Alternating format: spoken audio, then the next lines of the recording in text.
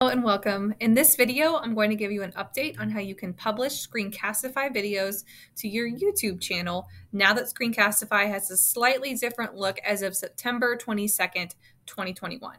So if you are familiar with Screencastify, then you know that any Screencastify video automatically goes into your Google account, but sometimes you might want to upload it to YouTube. The benefit of uploading your Screencastify videos to YouTube over just keeping them in Google or Screencastify is that YouTube always automatically creates and generates closed captions for your videos and even closed captions that can be translated into different languages. So it makes your content more accessible and supports universal design for learning on any video that you want to show your students and you upload. So with that being said, let's go into Screencastify and imagine that I've already made a video and I just want to upload it into YouTube.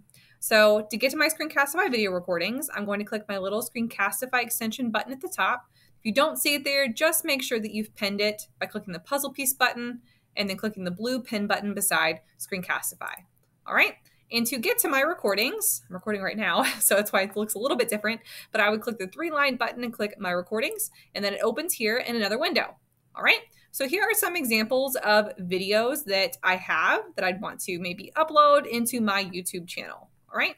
So other helpful thing to know here before you want to upload videos to YouTube from Screencastify is you need to have a YouTube channel. So technically every BCSC teacher, since you have a Google account, you can have a YouTube channel generated for you off of your BCSC Google account. It's a one-time setup. And what you would do is go to YouTube, you would sign into YouTube, and then you would click your channel and walk through the steps to create your YouTube channel. You can even customize it so that anytime you do an upload, it's automatically set to publish it a certain way, whether it's unlisted or public. And you can also set it up to where it's automatically never going to show any ads or recommended videos that might cause distractions for your students.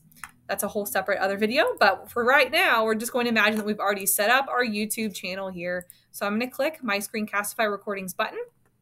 And then I'm going to go to a video that I want to publish onto YouTube. All right probably going to start playing. We don't need to listen to me twice. So if this is the video that I want to upload into YouTube, I need to make sure that I give it a title, first of all. If I need to edit that, I can do any editing up here. Here's just some of those other new features on Screencastify. But if I scroll further down the page, it used to just be a share button at the top that you could upload it to YouTube, but now it's a little bit further down, and I'm going to click Export Video. All right, and then once I get to the Export Video options, I see the option to export it to YouTube. So if I click export to YouTube, move myself here. It's going to open a new window, and this is where you'll need to pair your Google account if you don't have one paired already with your YouTube channel with your Screencastify. So this is where I would sync any YouTube channels that I want. You can have multiple, like what I have right here. I have a couple that I post things to, so I have them all linked right there. All right, so I've uploaded my YouTube channel there. I have it all set, and then I need to determine how I want this to be viewed. Private means only I can view it. Unlisted means that anyone with the link can view it. So if you give your students a link, they should be able to see it. Public means that anyone can find and view the video as well.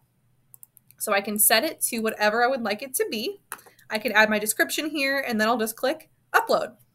It does take it a little bit to upload here on the Screencastify side of things, and it will take some additional time for it to process in YouTube.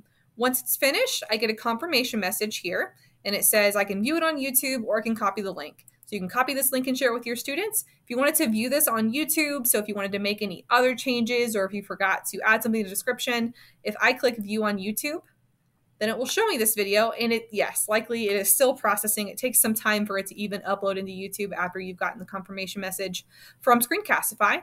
So if I am looking here, I can scroll further down and click edit video. And this is where I can configure any additional video settings if I wanted to. Like I always set mine to where it's made for kids because my videos could be watched by kids. Um, and that makes sure that there's no comments that can be added to your video or distracting ads. So I recommend turning that on for your videos. You can change anything else you need there. But that is how you can upload any video from Screencastify to YouTube with the new export button versus the old share button on Screencastify. So I hope you find this video helpful and stay tuned for more of the new Screencastify updates and video tutorials and how to leverage those updates to help your students.